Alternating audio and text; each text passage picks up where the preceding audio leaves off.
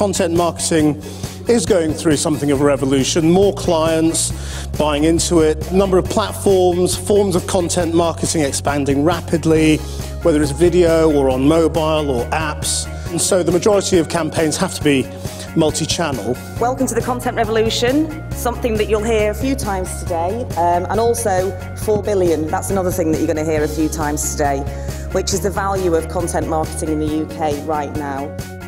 In this new paradigm, there are only really two things that matter.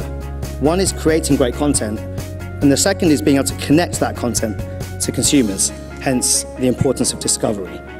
The media world that we all work in is increasingly interconnected.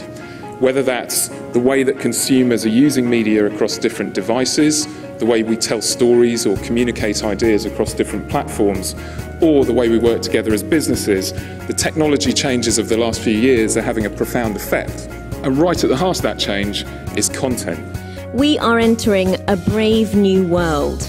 There's a fundamental change in the way that we consume fashion and beauty media. We are part of the wave of change.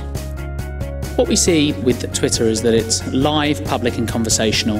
Uh, it was born seven years ago. Um, and uh, essentially we kind of see it as a global town square, as the real-time pulse of the planet. The quality of the content and the, the focus on the audience is absolutely key. Too often we are uh, lame or boring or too focused on our own internal stakeholders to persuade people to be the advocates for us that, that, that we want them to. Zuck talks about how the quality of content coming from brands should be as good, if not better, than that coming from people's friends and family. Uh, however, I think most brands and most marketing at the moment isn't, isn't anywhere near as good as that. And I think lots of brands, lots of marketeers kind of fall victim to losing sight that it is a really human and emotional platform.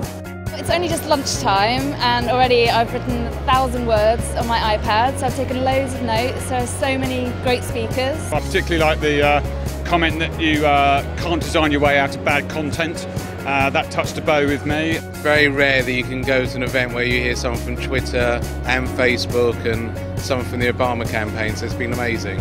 Content management is very important to us, so it's been really useful for me to hear how I could be better improving that and working better with the agencies here today. It is an extremely cluttered world out there, and just creating content is not enough. A huge, huge driver of our creative success is putting content marketing and content strategic thinking at the heart of our marketing plans. People don't trust advertising. They do trust social recommendation, branded content, and sponsorships. And personally, I see this as a huge, huge opportunity for brands out there. You have to make sure that you know who you're targeting, the psychography of your audience. You can use web psychology to optimize the entire process and elicit emotions in your users. They're people at the end of that, and if you make them feel good or nostalgic or funny or warm-hearted or understood, they're much more likely to share your content.